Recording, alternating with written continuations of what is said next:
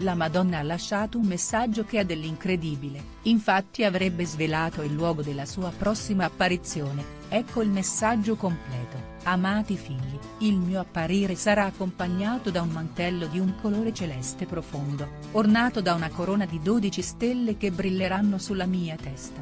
Inginocchiandomi di fronte a voi e al mondo intero, mostrerò il mio cuore addolorato e lacrimante. Figli miei, questo è un segno che desidero donarvi vi chiedo di essere umili e amorevoli con tutti coloro che incontrate lungo il vostro cammino. Unitevi a me nella preghiera e invocate lo Spirito Santo, affinché, con la sua potente luce, possa sorgere una nuova alba di pace per tutta l'umanità. Solo quando porrete fine agli orrori che affliggono il mondo, il mio cuore smetterà di versare lacrime. Vi invito a pregare con me per i popoli e le nazioni che soffrono a causa dei conflitti.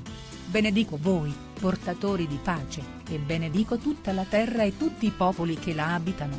Figlioli, nessun cuore deve essere privo di speranza e amore. Tuttavia, siate vigili e prudenti, poiché da questo momento in poi le tentazioni di Satana saranno così forti da farvi correre il rischio di compiere atti gravi, cose che nemmeno voi immaginereste di fare. Ricordate sempre che siete figli di Dio, la creazione più preziosa che Lui abbia mai realizzato.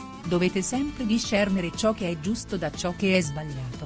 Appartenete al Padre Celeste, che vi ha donato il mio Gesù, suo unico figlio, che ha sacrificato la sua vita sulla croce per voi. Quando il giorno arriverà in cui farete ritorno nella casa del Padre, la vostra anima vivrà in eterno insieme a me, a Gesù e al nostro Padre Celeste voi vivrete per sempre in una gioventù eterna, senza alcuna sofferenza. Cari figli, presto darò di nuovo testimonianza della mia presenza, ma questa volta sarà diversa. Coloro che mi vedranno percepiteranno anche il mio dolore e lo sentiranno nel profondo del cuore e dell'anima.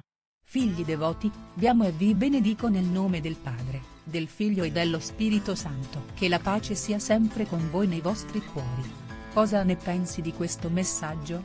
Faccelo sapere come sempre nei commenti. Ciao amici ed amiche alla prossima.